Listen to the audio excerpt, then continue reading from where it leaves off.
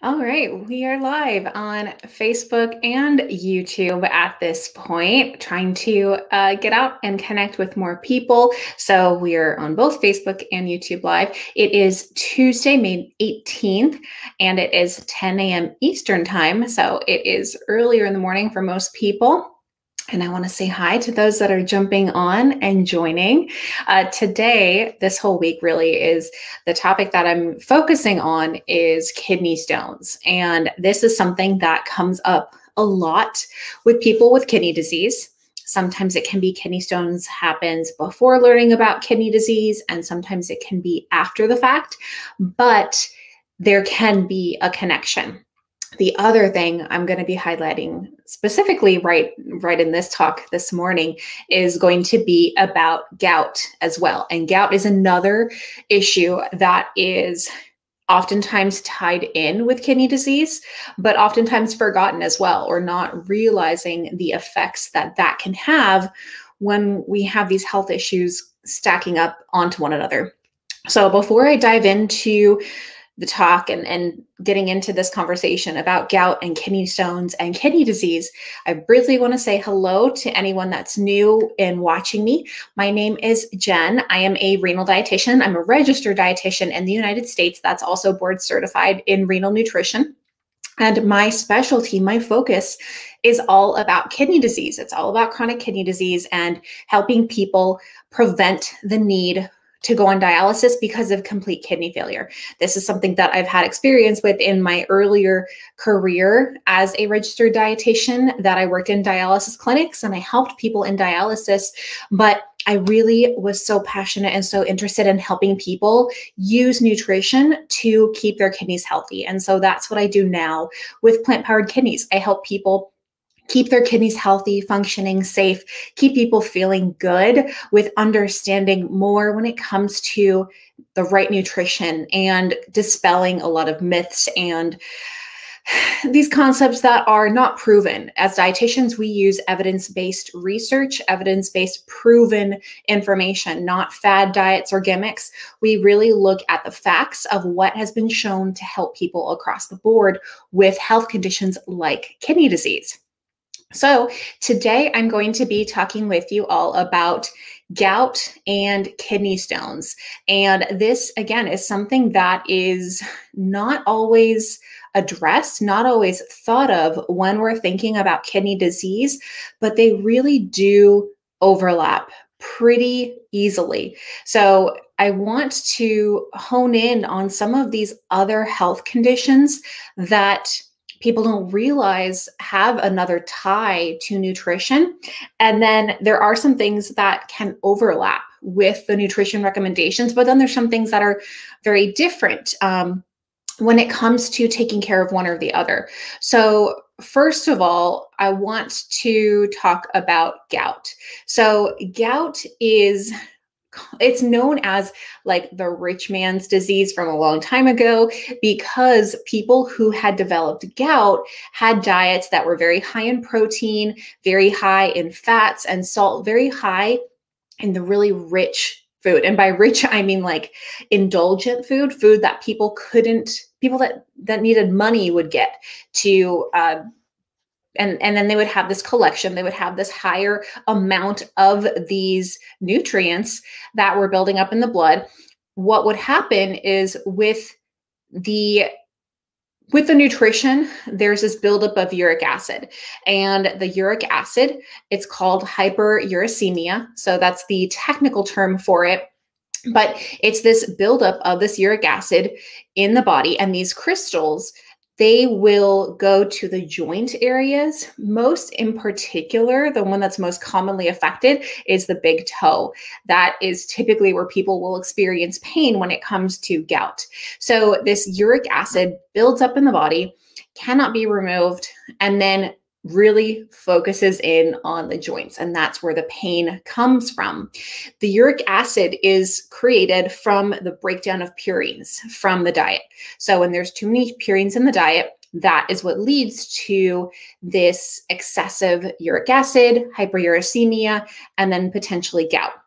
Now, that being said, high levels of uric acid doesn't automatically mean there will be gout doesn't automatically mean there will be symptoms it doesn't automatically mean that you will even know what's like anything that's going on with your body. So, this is one of those things where it's really important to pay attention to your labs, know your family history, understand what you're at risk for, because this may or may not be something that you should be paying attention to because if you're not feeling it, it's going to be hard to realize it's something to know about and something to focus on.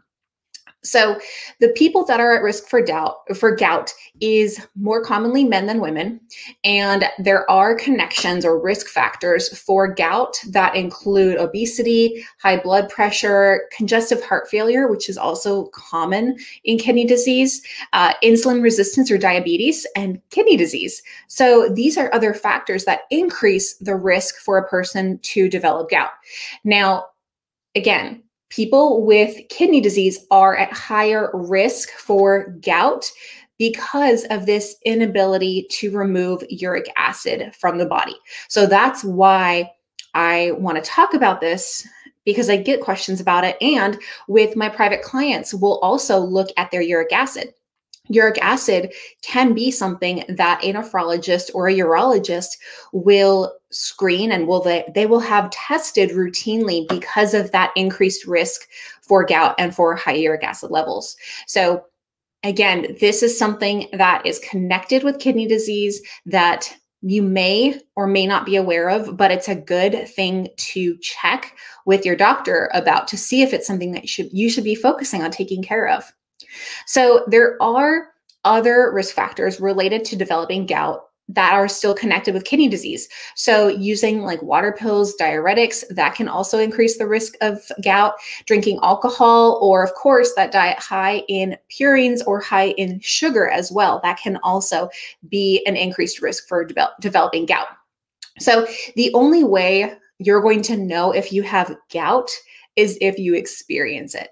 And we've kind of talked about this again with like kidney stones that most people, when you get a kidney stone, you know you have a kidney stone. It's not a question of do I have kidney stones or am I at risk? You know if you have a kidney stone. So gout is very, very similar. The only time that you can really be diagnosed with gout is if you tell your doctor when you're having a flare. So you're having that joint pain you're having a flare or a gout attack. That's how you know you have gout. Just having the high uric acid levels or hyperuricemia doesn't mean that you will be having uh, that you will get gout or that you have a gout attack. It just means you have higher acid levels, which increases your risk, but it doesn't automatically mean that that will for sure happen with you. So that's something really important to understand that you will need to get it tested, get it checked during a flare. So if you have a flare, if you have a lot of pain, again, this is important to talk with your doctor about. You can get it checked with an, an x-ray or certain lab tests. You can go to a rheumatologist who can also help because they specialize in these systemic autoimmune conditions. There are other lab tests that can also run for gout. So there's one that's a synovial fluid analysis. Of course, checking your uric acid to see what your risk is for gout. You can check your renal function panel to see how your kidneys are doing if it's going to be able to have enough filtration to remove the uric acid. Your basic metabolic panel and your complete blood count may also be checked as well. So those are some of the labs that you can get checked. But really what what will happen sorry, my allergies are driving me crazy last night today. Um, but what the, the most important thing for checking for gout is that x-ray or an ultrasound at the affected joint. Again, most likely is going to be the big toe.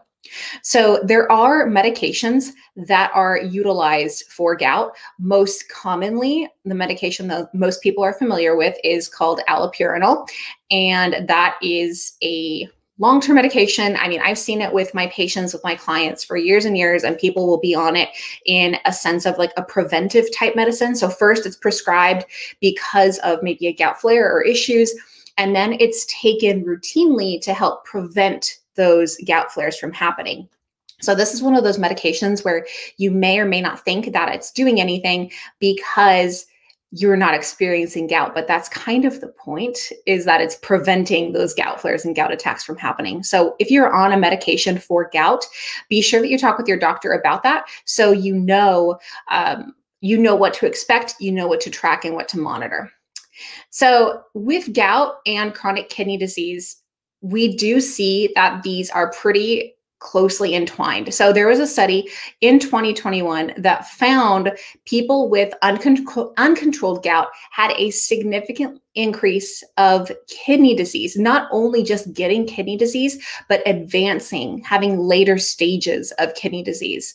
So they found that people with high uric acid, and this is uric acid of over 10, which is quite high, uncontrolled, but those with high uric acids of above 10 86% of those people also had chronic kidney disease. So this is not that surprising that we see, okay, uric acid's not being filtered. There's probably something going on with the kidneys. Oh, okay, there is a stage of kidney disease that is associated with this buildup of the high uric acid levels. So keep in mind that with kidney disease, again, kind of going both ways. If your kidneys aren't filtering uric acid, you could develop gout. If your uric acid isn't being filtered, it could be a signal that you have kidney issues. So you'll want to talk with the doctor about both sides of these to see uh, how that relates to your own health. Now, in there was also a connection that people in general, not just uric acid. So we have the high uric acid that may or may not include gout but people with gout in particular, they had about 71% of those people had chronic kidney disease. So again, it's the uric acid, the high uric acid level, that is really caught, really closely tied to kidney disease, but the gout diagnosis also is connected to kidney disease as well. So we have both of these issues that are connecting to kidney disease. Now, what about gout and kidney stones? So, if you experience kidney stones, first of all, there are several types of kidney stones that are out there. Now, uric acid kidney stones, these are the ones that are most connected to gout because of the uric acid. They're not the most common, they're the second most common. The most common is calcium oxalate stones, and those are different for several reasons uh, and not necessarily connected with gout because of a different factor, different factors in how they're created. But uric acid stones are again secondly second most commonly formed kidney stones and they still come from this collection of uric acid in the body. So we're going back to this excess uric acid not being removed from the by the kidneys that is coming into the body via our diet. That's where it's coming from. That's how it's all connecting. So kidney disease or lower kidney function, collection of uric acid may really may go to gout, may go to uric acid kidney stones. So there are some ways that you can treat uric acid kidney stones. Most commonly is a medication known as potassium citrate, which as soon as you hear potassium, the alarms start going off and you start thinking, well, what about potassium in the diet? And if I'm supposed to be limiting potassium, this is why it's really important to talk with your doctor about your treatment plan because there are different types of medications that can also be effective in getting rid of the kidney stones but you want to have that conversation with your doctor to make sure that you are on the right treatment plan and that you're taking something that you feel really comfortable and safe with and that it's still effective in preventing uh, or eliminating those kidney stones. So the potassium citrate is one. There is sodium bicarbonate, which we've talked about before. This is not something to take over the counter just because you hear it's good to take because these sodium bicarbonate tabs do have sodium in them. So again, this is not something you know to take to take a medication or to take well it's supposed to be a prescription medication that has something like sodium in it just like the ones that have potassium in it without being treated under a medical team can be really risky because if you're trying to take care of one issue and another issue pops up is that really solving the problem?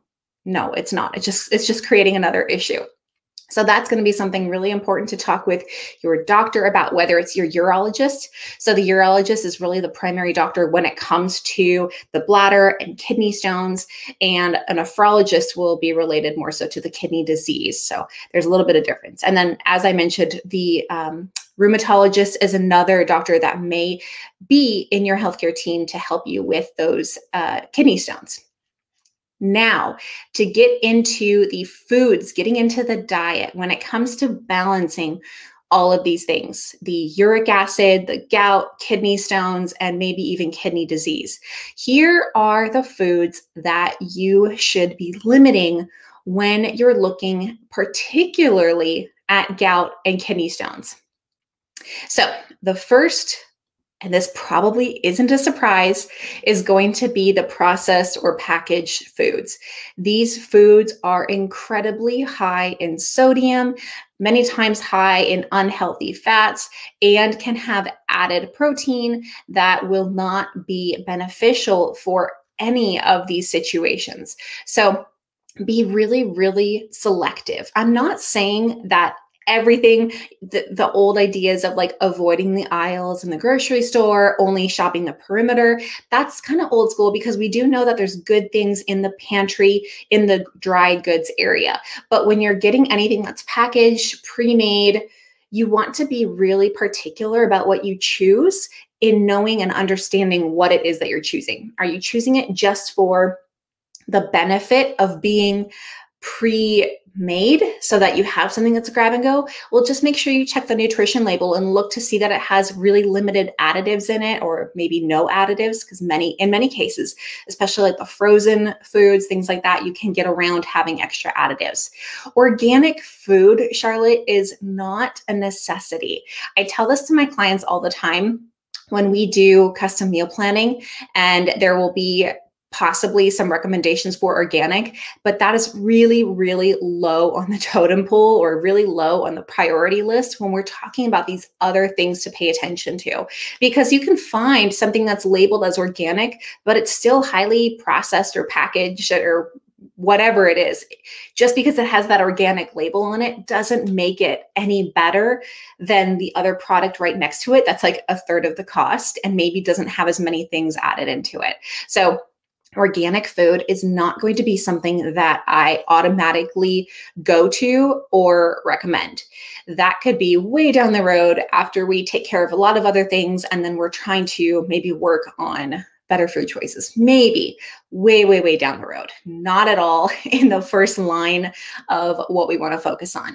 So, if you're choosing packaged or processed foods, just be very, very selective on what you're choosing. Read those dang labels, not just the nutrition labels, but the ingredients list. Okay. Very, very important. You want to, in this case, for gout and kidney stones, you really want to look at limiting the sodium. Now, another group of food that you want to be really careful with are the organ meats. These organ meats, like the liver, kidneys, sweetbreads, these are very high in purines. And again, purines are the nutrient that breaks down into uric acid. So if you have these different types of meats, and not many people, I don't, I don't think the majority of the population will have organ meats as their go-to, but these are extremely high in purines, and this can be really, really damaging to the balance of uric acid. So, limiting organ meats is going to be really, really helpful, not only for gout and the kidney stones that also come from uric acid, but also for kidney disease. When we talk about kidney disease, and a while back I talked about the low protein diet, we talked about keto analogs, like there is an emphasis on being careful with protein when it comes to kidney disease. So any kind of animal meat with the animal meat, which segues into the next section, actually, the animal meats and organ meats are not going to be very beneficial when it comes to preventing or avoiding these gout attacks, these kidney stones, and even preventing kidney issues. So we have the animal meats, and animal meats, we're talking about animals in general. So I'm not giving a pass on chicken. I'm not going to say poultry is going to be better because all of these animal meats still can contribute to those higher uric acid levels and therefore the risk of kidney stones and also gout. I had um, I had a patient in my last dialysis clinic who suffered from kidney stones and his diet in in dialysis if you ever hear about the the dialysis diet it's very high in protein because of the way dialysis removes protein from the body now he's being encouraged from his nephrologist to eat a ton of protein and animal protein at that and he was suffering from kidney stones and he couldn't figure out what it was it was the animal meats. He was eating a ton at every meal, a huge plate of animal meat because his doctor was telling him he needed to eat more animal meat. Unknowingly, re- that uh, unknowingly, real, not realizing that this was also aggravating the gout and the kidney stones that he had. So, animal meat is if you are to have it, you want to be really careful with how much you have with these health conditions because they're not going to be providing as much benefits as the media, as some people online will have you think that you need to have more. It's just not the case. And there is, Robert, yes, there is a lot of conflicting information about low oxalates. And I, um, a little bit later, I'm actually going to let you know about my favorite resource for oxalate information. Um, I'm going to get to that just towards the end. So if you stick around, I'm going to be talking about my favorite resource that I, I'm, I'm actually a part of and I highly recommend. Okay, so getting into the foods to avoid. The next one we have is seafood. There are certain seafoods, tuna, shellfish, sardines, anchovies these are high in purines, again, which increases the risk of uric acid levels. There is some research that associates the fish that are rich in omega 3s that can lower gout flares. But again, it's not something to indulge in so heavily because there is such thing as too much of a good thing. So you want to be careful with how much of these omega-3 rich fish like salmon that you include in your diet, especially when you have something like kidney disease that may uh, not benefit from that additional high amount of protein. The next thing, as I had mentioned in the beginning, is alcohol. So while some people with kidney issues may be able to have alcohol from time to time in a small, moderate amount, alcohol itself can increase the risk of uric uh, of uric acid stones, uric acid kidney stones, and gout. So if you are experiencing kidney stones, if you're experiencing gout, this is probably the first thing I would recommend pulling out from and just stopping in your diet because this could be really aggravating. And while there are some benefits in certain kinds of alcohols for different reasons, those benefits are not exclusive to alcohol. For example, we talk about antioxidants in wine. A lot of people know about that and they think, oh, well, I can have the antioxidants and that'll be great. The resveratrol. But something like grape juice, non alcoholic, still does provide that benefit. So, alcohol, again, is not exclusive to those benefits. So, if it's something that you can eliminate that would potentially reduce your risk of gout and kidney stones, that could be a really, really good opportunity for you to prevent those attacks. So, alcohol is next. The last one I have is added sugars. So, the sugary foods, anything that has those added sugars, which the new nutrition labels do include underneath the carbohydrates underneath the total sugars, it'll have a list of added sugars. That's the type of sugar we're talking about avoiding because the added sugar is not beneficial. And there is a connection of fructose, which is a type of sugar that can increase the risk of kidney stones. Now, fructose is also naturally found in fruits, but that's a different situation. It doesn't produce the same result. So, fruit is still something that can be included in a diet that limits gout and uric acid kidney stone attacks. So, we're talking about added sugars, sugars that companies are putting into their food to sweeten it, not using natural sources. Okay, so that was a quick run through of foods to avoid when you have gout and kidney stones, specifically uric acid kidney stones, because that's the that's the denominator, that's the common factor here when we're looking at these two things. So we have the processed or packaged foods, we have organ meats, animal meats, some seafood, alcohol and added sugars. Those are the groups that you want to really really be careful with. And you know, when we talk about these groups, it is these kinds of food groups aren't that surprising when we talk about what you want to limit or avoid. There's not a lot of diets that will promote high intakes of any of these groups. So it does fold into the idea of a more commonly known or commonly thought of healthy diet. Okay, so to look at including and adding in foods. We talked about the foods that you should be avoiding when it comes to gout and kidney stones, uric acid, kidney stones. But what about what you should be eating, right? That's kind of the point that, you know, I know a lot of you guys want to hear that. So we're going to dive into those foods that you should be including. So fruit, like I mentioned, fruit is a great thing that you can include in your diet that can be really helpful in preventing both gout and kidney stones. There's evidence that shows that cherries can help reduce gout attacks. And even though it does have fructose, it's not a factor in what needs to be avoided because it is a natural sugar. It's not the added fructose, like high fructose corn syrup, probably the most common added fructose. So, including fruits as well as vegetables into your diet is going to be really, really, really helpful. And both fruits and vegetables, if you guys remember the video we did a few weeks ago talking about PRAL, that potential renal acid load, fruits and vegetables are a great way to reduce the acid load and protect your kidneys. So, again, fruits and vegetables, not a shocker. We talk about including more of those, but both for gout and uric acid stones, these are really, really helpful to include. There are some high purine vegetables, um, but eating these even in moderation hasn't been shown to increase the risk of gout attacks.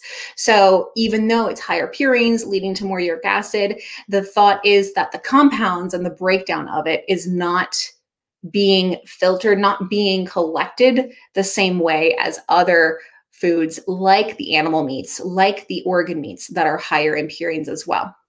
So you may, again, if we talk about the different types of kidney stones, calcium oxalate stones are the most common. You may need to be careful with these certain types of vegetables, like we talk about beets and spinach. These are high in oxalates, which can increase your risk for calcium oxalate stones, which again, stay tuned. I'm going to be talking about that in a little bit here after I wrap up uh, this information for you.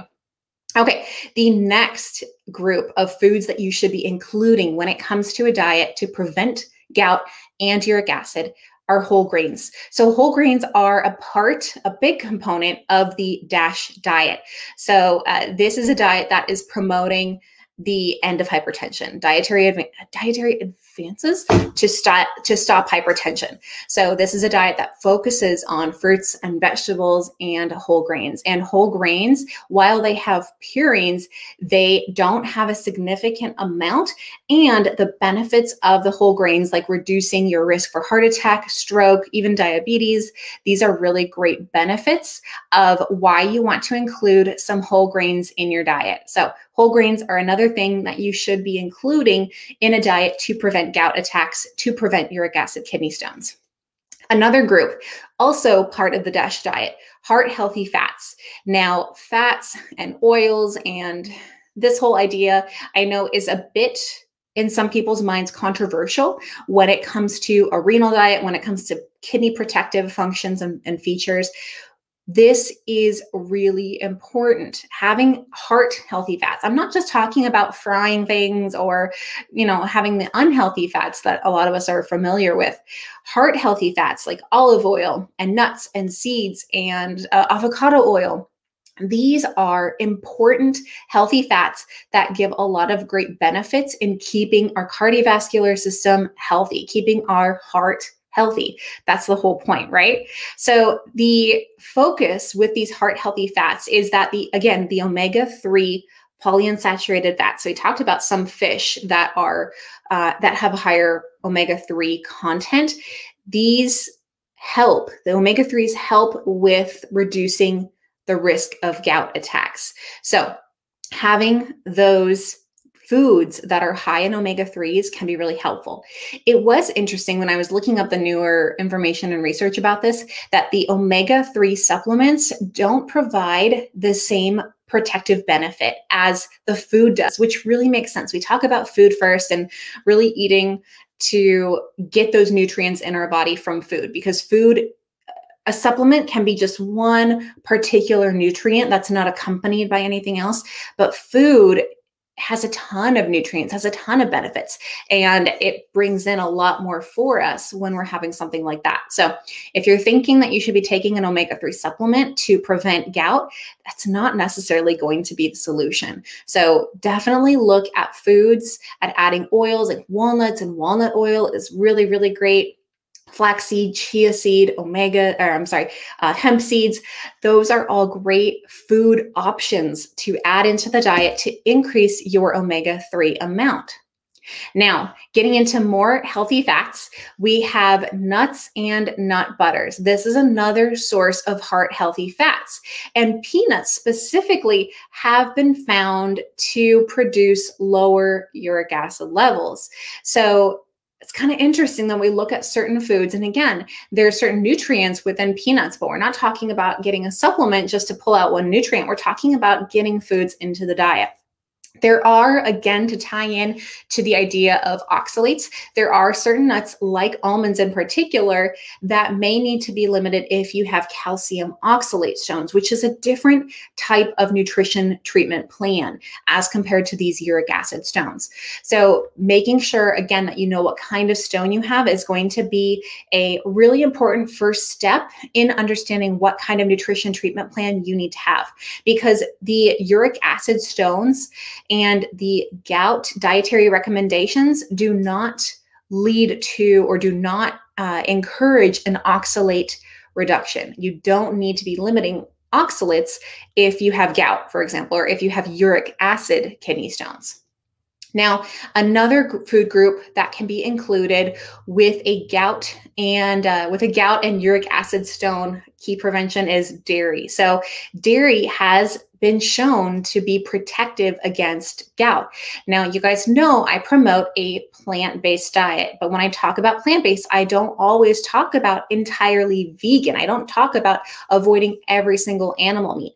And in many situations, like this case, including some dairy can be really, really helpful when it comes to preventing gout attacks. So, my recommendation is if you're adding dairy, look for the low fat dairy options because dairy is a source of saturated fat.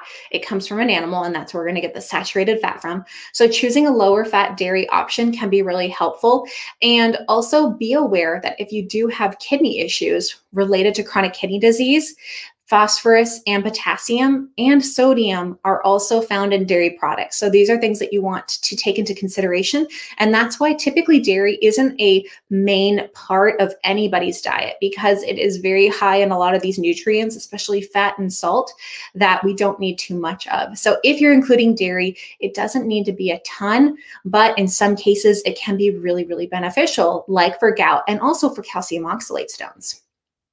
Okay, Another group of foods that you can include in your diet. Some lean meats may be okay in helping gout and uric acid. But again, you really want to focus on the portion size. So the reason I include this in the foods to include in these diets is that it's it's more about the portion. I'm trying to think of the best way to say this. It's it's more about the portion than it is the product. And when we're talking about something that's okay, it's still going to be a matter of not getting too much into the diet. So sticking to like 4 to 6 ounces per day, and that's about the size of your palm. So, for that amount to be in your diet for a day would be something that's okay to include and that you could have. And not everybody wants to go on a fully plant based diet, which I totally respect. Everybody has that choice of what they want to do for their health and their well being. If you want to include lean meats, that would be a safer way to do it so that you are not getting a higher level of uric acid that can contribute to the gout or the um, the gout or the kidney stones that are formed from uric acid. All right, so the next thing we have is coffee. So, coffee has been shown to lower the risk of gout. There's not enough evidence to prove that it lowers the risk of high uric acid levels, though. So, I know it sounds kind of confusing, but it's really the factor of the gout and not the high uric acid. So, gout, you can experience a gout flare without having significantly high uric acid levels. So, the coffee they did find helped in the study, they found helped with reducing the risk of gout but they just couldn't connect the gout to the uric acid levels. So remember, gout and uric acid levels can be different. They don't necessarily need to be related or one dependent on the other. Not always the case. Okay, finally, a few other thoughts and recommendations when it comes to gout and uric acid kidney stones. So, hydration. You guys, drinking water is so, so important when it comes to both uric acid and kidney stones. So, starting with maybe eight or so cups a day, everybody's different for how much fluid they need. And your best recommendation will come from your own healthcare team. But making sure that you get enough water is going to be really, really helpful in keeping the system cleaning itself, in producing urine so that the urine can get rid, the urine can eliminate the things that are trying to build up in the body. So hydrate, hydrate, hydrate. Now, this is again where we tie back into kidney disease. And if you're on a fluid restriction, you want to be careful because hydrating more doesn't always mean the right it's the right answer. So if you are on a fluid restriction, it's not a matter of drinking above your fluid restriction, it's probably more so a matter of changing your diet. So, like the example I gave you about my patient who was on dialysis, he had a fluid restriction that he really had a hard time sticking to. But in the end of it, the result was he just had to have more fluid come off in dialysis, which drained him metaphorically, literally drained him more because of all of that fluid that was coming off of him. And it wasn't solving the problem of the kidney stones because the hydration the purpose of the hydration is to create more urine. And if your kidneys aren't able to create more urine, that extra fluid isn't going to be doing enough to reduce that risk. So, so long as you aren't on a fluid restriction, drinking, drinking, drinking water, water, water is going to be so important and so helpful. Now, the final thought that we're looking at is vitamin C with kidney stones and gout. So, vitamin C has been shown to be helpful in preventing gout flares. But there was a review that found that higher doses of vitamin C didn't really help in preventing or treating gout. So, again, this is something just like the omega 3s, where a supplement isn't the answer. It's more of getting the vitamin C from the diet. So, eating fruits and vegetables, eating the foods that are higher in vitamin C will be really, really, really helpful in these opportunities. And vitamin C it's an antioxidant, so it's going to be really helpful to include this in our diet, but the supplement route is not the route to go. So in in general vitamin c is not recommended for people with kidney issues. So no vitamin c supplements. Um, whenever i have a new patient that i see who's taking vitamin c we really talk about that make sure that that's not something that is a common or a daily supplement because it is not needed it is contraindicated. So vitamin c supplements are not the answer but a diet high in vitamin c. So we're talking about broccoli and strawberries and greens and orange juice even. These kinds of foods they can be really, really helpful in making sure you get enough vitamin C. So, that is the rundown of the foods that you want to include when you have gout and kidney stones. So we have, of course, your fruits and your vegetables, both of which can be high in vitamin C. We have your whole grains. We have the healthy fats like nuts and nut butters, and the healthy omega 3s, chia seeds, hemp seeds, flax seeds, so many opportunities. You can also include dairy, aim for low fat. You can include coffee, and in some cases, you can do some lean meats in moderation. Uh, but I would really start with focusing on those omega 3 uh, omega 3 rich fish first because that will give more benefits in when we're looking at the lean options. Okay, uh, so let me see.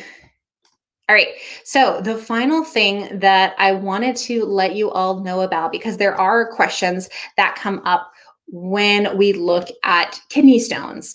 And as I mentioned, calcium oxalate stones are the most common type of stones available. So, just so you all know, my good colleague, friend, renal dietitian Melanie Betz, who is on Instagram as the kidney dietitian, and she runs the kidneydietitian.org, she is reopening her kidney stone nutrition school, which is a six week course teaching you all about calcium oxalate kidney stones. And she has a ton, a ton of stuff in there in the six week program, which starts on Monday. So enrollment has opened today and it will be running this week and class starts next week. So if you're interested in learning about those, and Robert, you were asking about the reputable, like the good source of information.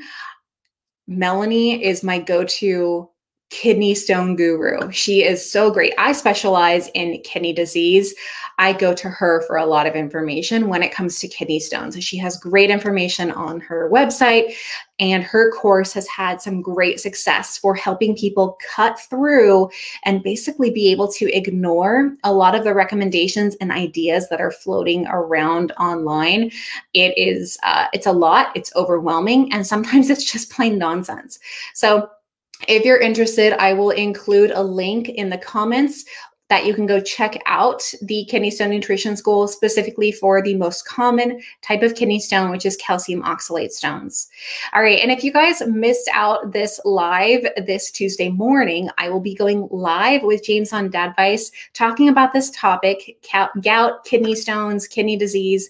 We'll be doing all of this on Dadvice tonight at 6 p.m. Eastern. And I will be going live on Instagram with Melanie, the kidney dietitian, as well as a couple other renal dietitians. And we're going to be talking about more about kidney disease and answering audience questions. So you're going to have four dietitians that will be chatting at 8:30 p.m. Eastern tonight on Instagram. You can find us at, well, you can find me at plant.powered.kidneys, and that is where you'll be able to get notified and see when we go live tonight, 8.30 p.m. Eastern.